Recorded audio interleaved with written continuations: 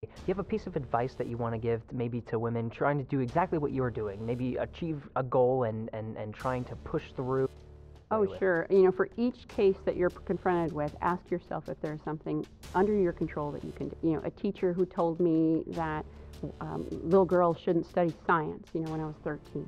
Oh. And I could have just said, oh, okay, and just withdrawn from the class instead of, you know, what is your problem, dude? I love science. Yeah. And um, so there are times in your life, so you just need to ask yourself that question. And if there is something you can do, Do it and get creative. Get creative. Get creative. From century words of classic romance novels, one can decipher that there are three main points that complete a true love story two lovers, a villain or an obstacle keeping them apart, and a happily ever after.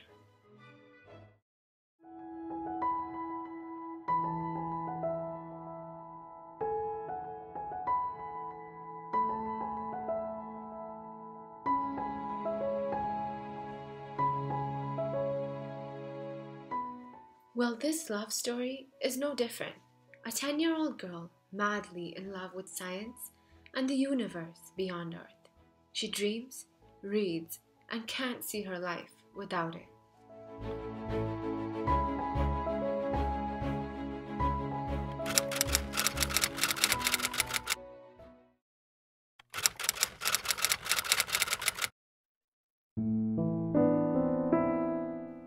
From a young age, we are taught boys should love blue and girls should love pink. Boys should love race cars and telescopes, while girls, Barbie dolls.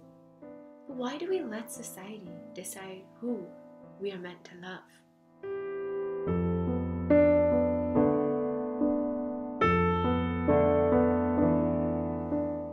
Would this same society prevent her from getting the happily ever after to her love story? Is it true that all major contributions to science and space are male dominated? Most people on planet Earth today would be familiar with the names Neil Armstrong, but not Katherine Johnson, Edwin Hubble, but not Nancy Grace Roman. Behind each celebrated man, there has been a woman. And although NASA has done and continues to do justice to their efforts, our community is yet to learn that women too have made immense contributions and that there is scope for more.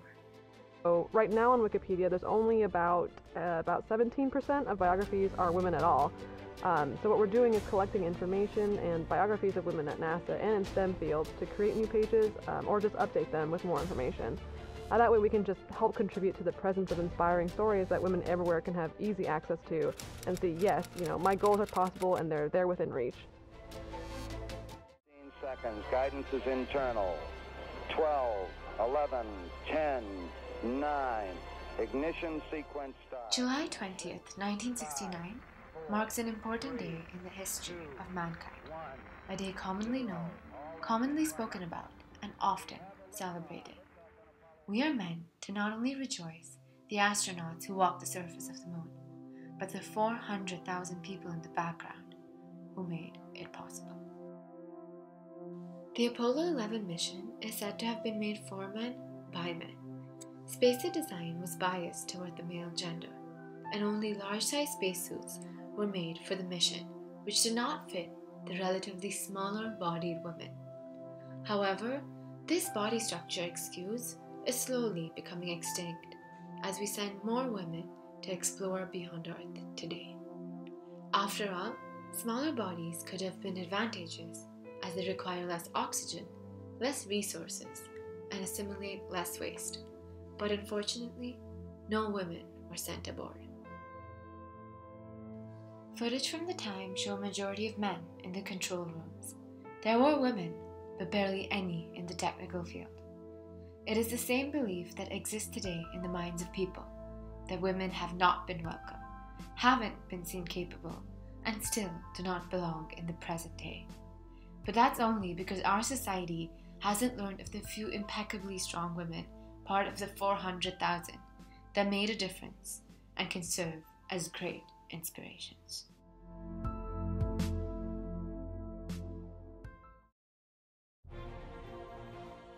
JoAnn Morgan was an exception. Among hundreds of men, she proved instrumental to the Apollo 11 takeoff, despite the discomfort due to how she was treated differently. After her experience, she said,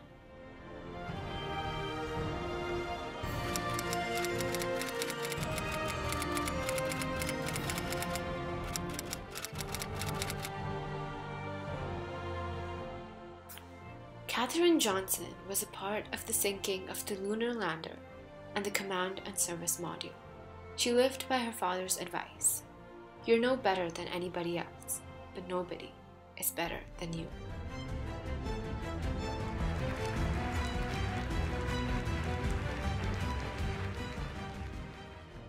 On the day of the Apollo 11 launch, Judy Sullivan, a former teacher and a biomedical engineer, was the only woman who helped Neil Armstrong suit up for launch. She also monitored the astronauts' heartbeats, blood pressures, and other health factors while in space.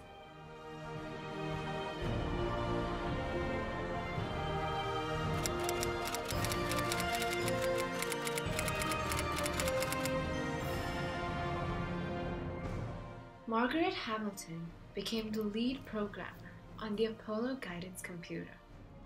She led the team that developed the in flight software for the command and lunar modules and came up with the idea to call her discipline software engineering.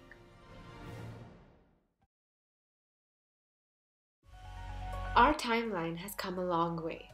In 1983, Sally Ride first debunked the myth of hostile working environments in STEM fields and was the first woman to go to space followed by Peggy Whitson, who spent the longest time in space, and Christina Koch and Jessica Meir, who made a breakthrough in the last year itself for the longest all woman spacewalk. In 2020, the new NASA headquarters has been named after the first female black engineer, Mary Jackson. And now, we look forward to Mission Artemis and many more to come.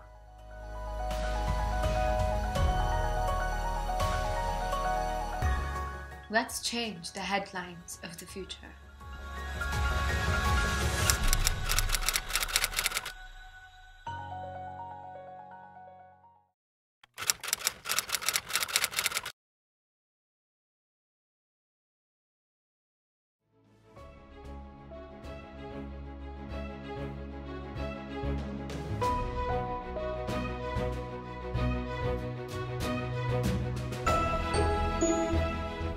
Getting the happily ever after for such romance stories has taken time and have been uncommon and challenged.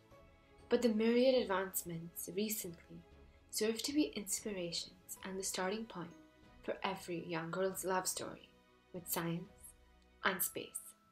Play with Barbies, but make it your own.